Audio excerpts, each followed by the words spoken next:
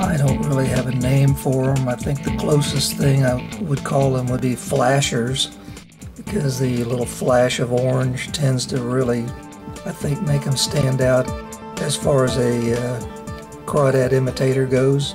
But folks have said, well, now how do you make those? They hadn't seen them. They wondered how I make them. Well, the process has quite a few steps, so let's just start from the basics and go step by step.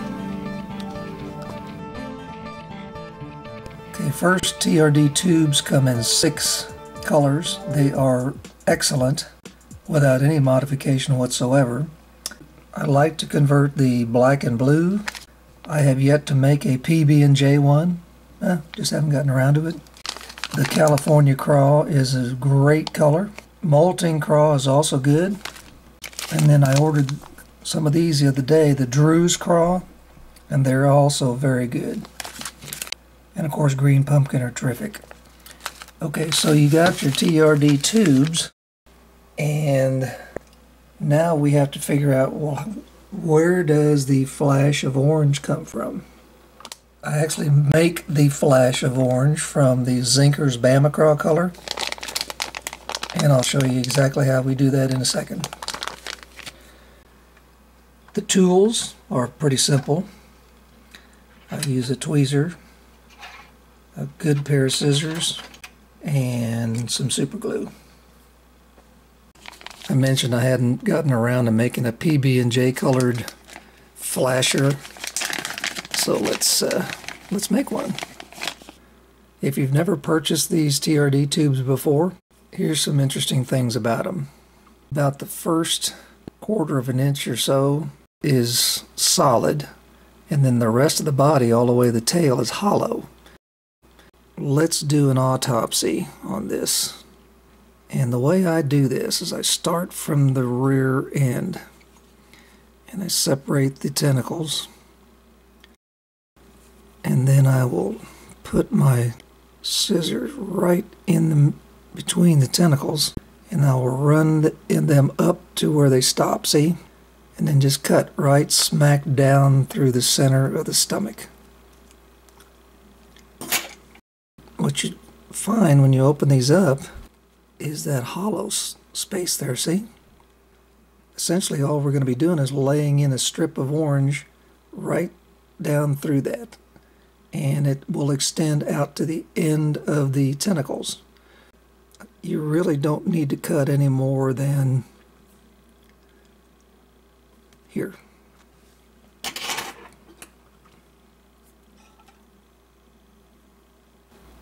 Okay.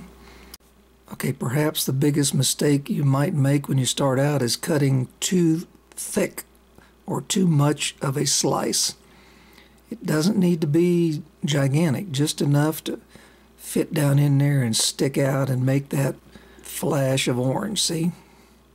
So what I typically do is I'll take the top of this ZinkerZ and I'll cut off the greenish part because it's also a laminate, has a little more green on the top.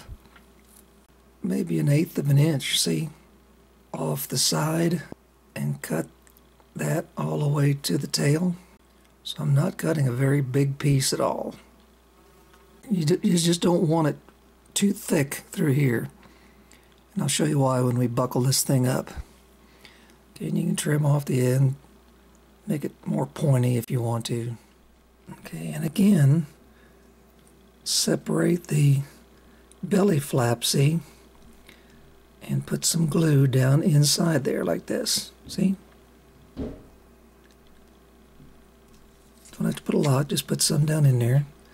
And then lay that strip on top of the glue.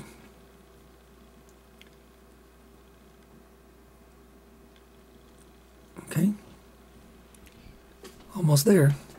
Now we got to super glue the edges together. So I'm going to put some glue on this side. Like so.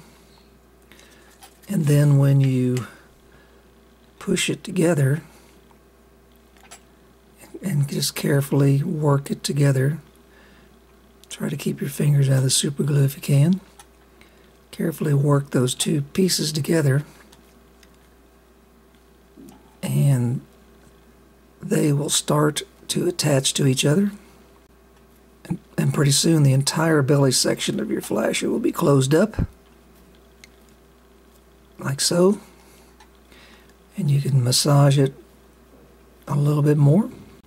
Okay, and so you see what I'm saying? It's almost like there's no cut whatsoever from the tail to the head because it's all sealed up. And you got that extra glue underneath there keeping the flash secure inside. And now all that's left is to talk about is how to rig these things. Wasn't that easy? That's pretty cool, wasn't it? I have two preferred rigging methods. First is a Texas rigged. Both of these hooks are about the same size. Haven't really noticed any difference in the ability of them to catch and hook fish, so whatever floats your boat, just use whatever kind of hook you want. But the reason that the one-aught works as well as it does is, is because of, the, of its size. To rig it Texas style, hold it at the hold it on the bottom and run the hook point down through this solid part of the tube and out just like you would a worm, see? And run the hook up and skin hook it on the top of the back like so. Okay, now that is going to come right through your hydrilla and your sticks and brush piles and stuff like that. And you can peg them, whatever you want to do. And in my most recent video, you saw me using this little tiny bullet weight. So that's the Texas rigging method. And the next method is the typical uh, jig head Ned rig style. Works good for places where there's not a whole lot of sticks because it will sink and the flash will come up there and just flash away and it really grabs the fish's attention. There are a number of jig heads, styles, weights, and so forth, 1 16th to 1 8th. The Finesse ShroomZ weights are 1 10th, 1 6th, and 1 5th. So you got some choices there. If you're in a lake with a lot of rocks and stuff, this might help you avoid getting hung up as much. I've gotten carried away with my jig heads sometimes. I put eyes on them I paint them different colors. So this is a real simple rigging method. You're going to want this to come out of the top this time, see? So you start it at the nose, run it back a ways till about halfway on the hook, and let the hook come out, and then run it up to the to the jig head itself I will typically put a drop or two where it attaches to the jig head. Don't, don't need a whole lot. And then just squish it up on there. Set it aside to dry and you're ready to go. I still get a lot of questions about where do I keep my ElaZtech plastics because you're not supposed to put ElaZtech anywhere near normal plastisol plastic baits like plastic worms and that sort of thing. So for years now, I have used these little Plano boxes, see? And here's one that I've been carrying these flashers around in. And I just find that it's real simple to keep them in these little storage bins, make them up ahead of time, keep them in there. Like there's one with a jig head, and here's one with a with a uh, worm hook on it, ready to go. And then I'll throw in some weights, some different size weights. I'll put them in there. And then I'm about ready to go off to the lake. So here's the black and blue ones. Kelly Craw, Drew's Craw. ElaZtech colors don't seem to run together like other plastics do. So you're probably going to be safe to do that. Here's a green one. I'll just put it anywhere. Okay, I hope you enjoyed seeing how easy it is to create a really exceptional TRD TubeZ lure which I decided to call the flasher.